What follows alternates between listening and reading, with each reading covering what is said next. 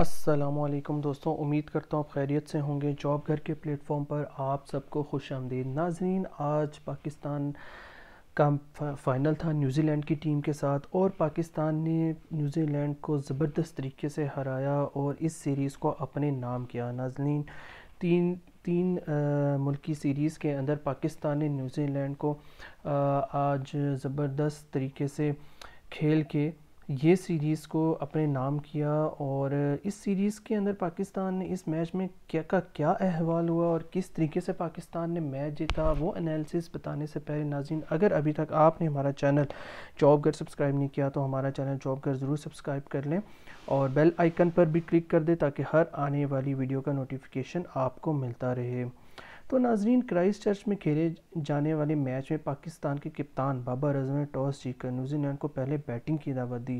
कप्तान बाबर आज़म ने बात करते हुए कहा था कि से मुल्की सीरीज़ के फाइनल के लिए कौमी टीम में एक तब्दीली भी की गई थी और उन्होंने बताया था कि फास्ट बॉलर मोहम्मद हसनैन की जगह हारिस रऊफ़ को प्लेइंग एलेवन में शामिल किया गया है। नाजरीन तो न्यूजीलैंड की अगर हम इनिंग्स की बात करें तो मैच के आगाज़ में कीवी ओपनर फिन एलन को नसीम शाह ने सिर्फ़ 12 रन्स पर पवेलियन की राह दिखाई।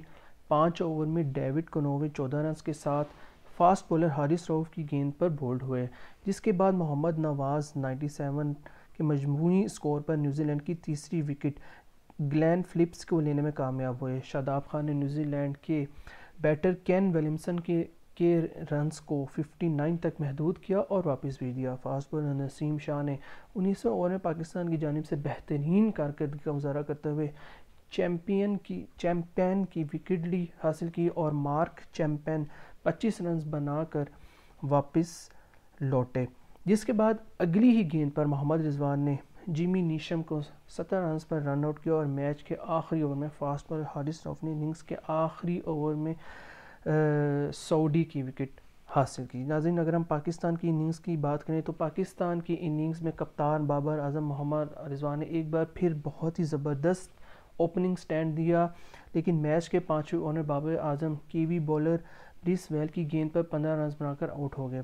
पाकिस्तान की दूसरी विकेट ग्यारह के स्कोर पर गिरी जब शान मसूद की ब्रिस वेल्स को ब्रिस वेल्स ने सिर्फ़ 19 रन पर पवेलियन भेज दिया। जिसके बाद मोहम्मद रिजवान 29 गेंदों पर चौंतीस रन बनाकर सऊदी की गेंद पर एल बी डब्ल्यू हो गया और बाद अजा middle order batsman Haider Ali Mohammad Nawaz ने मैच में कायम प्रेशर तोड़ा और कौमी टीम को जीत की तरफ़ गामजन किया। हैदर अली ने पंद्रह गेंदों पर इकतीस रन बनाए और सऊदी को विकेट दे बैठे।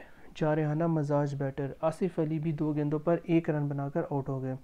ताहम मोहम्मद नवाज़ बाईस गेंदों पर थर्टी एट रन बनाकर नॉट आउट रहे, जबकि इफ्तार अहमद ने भी चौदह गेंदों पर पच्चीस रन की नाकबिल शिकस्त इनिंग्स खेली, खेलकर टीम को मैच जितवाया। तो नाजरीन इसी तरह अगर हम बात करें कि मैन ऑफ़ द मैच की तो मोहम्मद नवाज़ को ऑलराउंडर परफॉर्मेंस में मैच का बेहतरीन खिलाड़ी करा दिया गया, जबकि न्यूजीलैंड के स्पिनर माइकल ब्रेसवेल को पेल ऑफ़ द सीरीज़ का जो है ना, वो टाइटल दिया गया। नाजरीन, ये सीरीज़ बहुत ही ज़बरदस्त रही। इस सीरीज़ के आखिर में अब रमीज़ राजा ने भी ट्वीट करके पाकिस्तान टीम को मुबारकबाद दी है और पाकिस्तान टीम का हौसला बढ़ाया है और साथ में उन्होंने कहा कि हमत अमनी और जहानत से शानदार कामयाबी। रमीज़ राजा के ये मुबारकबाद दी है। इस तरह मोहम्मद हफीज़ ने भी पाकिस्तान टीम को जो है वो कंग्रेचुलेशंस दी हैं और ज़बरदस्त उन्होंने भी तारीफ़ की हैं, जो बॉलिंग करवाई है। आखिरी स्पेशली आखिरी पाँच ओवर के अंदर जो आखिरी जो पाँच ओवर था उसमें हारिस में ज़बरदस्त बॉलिंग कराई है। वहाँ पर जो कंटेन किया है, जिसकी वजह से पाकिस्तान मैच जीत सका है। तो नाजरीन पाकिस्तान अब जो है वर्ल्ड कप के अंदर जा रहा है और बहुत ही कॉन्फिडेंस लेवल हाई है हमारी टीम का। ये बहुत अच्छी बात है। अब इस कॉन्फिडेंस को यूज़ करते हुए पाकिस्तान टीम को अपने मैचेस को खेलना है और वर्ल्ड कप को उम्मीद करते हैं कि पाकिस्तान टीम जो है, वो वर्ल्ड कप जो है, वो जीत के लेके आए। इसके साथ साथ नाजरीन फास्ट बॉलर हारिस रॉफ का कहना है कि हर मैच में कोशिश होती है कि हम अपना जो है बेस्ट जो है वो टीम को दें।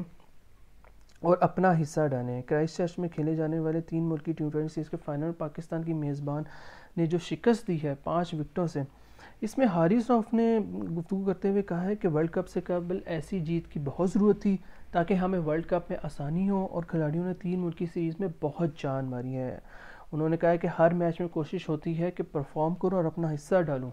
कप्तान बाबर आज़म मुझे जो प्लान देते हैं, मैं कोशिश करता हूँ उसके मुताबिक बॉलिंग करूँ।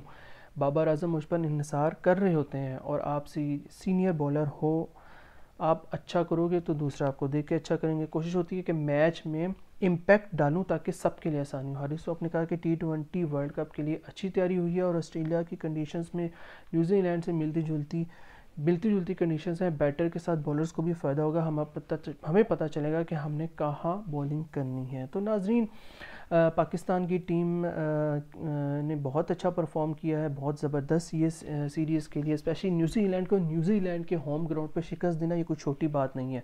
ये बहुत बड़ी बात है और उम्मीद करते हैं कि पाकिस्तान की टीम वर्ल्ड कप में भी बहुत अच्छा परफॉर्म करेगी। तो नाजिन अब तक इतना ही।